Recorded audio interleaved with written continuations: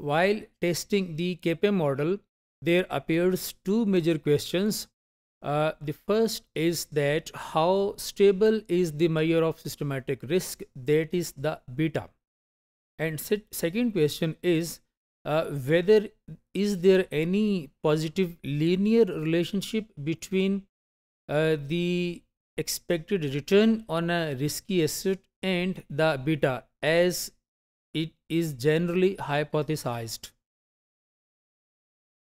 So how stable is the beta? We see that betas for individual stocks are not as stable as the betas of the large port portfolio of the stocks. These portfolio betas are more stable. Uh, larger the portfolios of stock and longer the period, the more stable the beta we see. We also see that high beta portfolios tend to decline over time to 1. Uh, low beta portfolios tend to increase over time towards 1.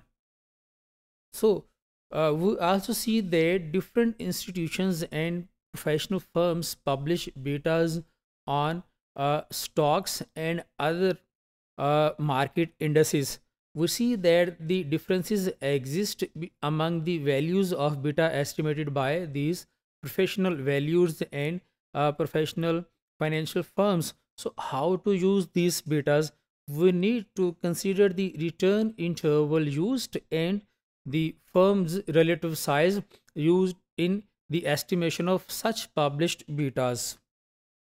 So what is the relationship between systematic risk and return? We see these in two perspectives. We see the effect of skewness on the relationship.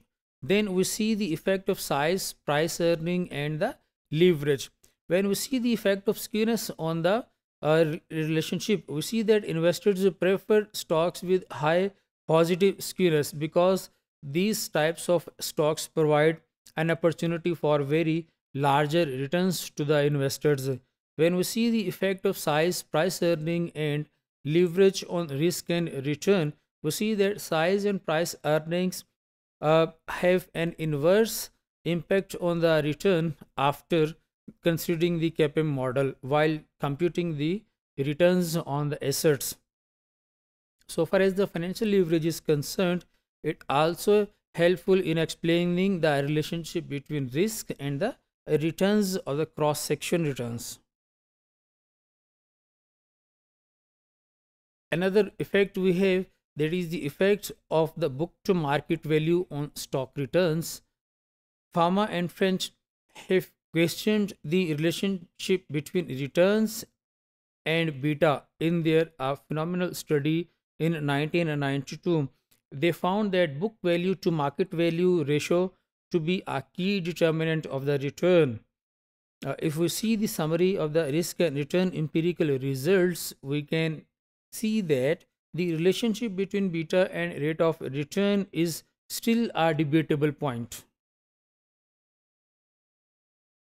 Now, what are the theories versus practices that is the crux of the market portfolio till now.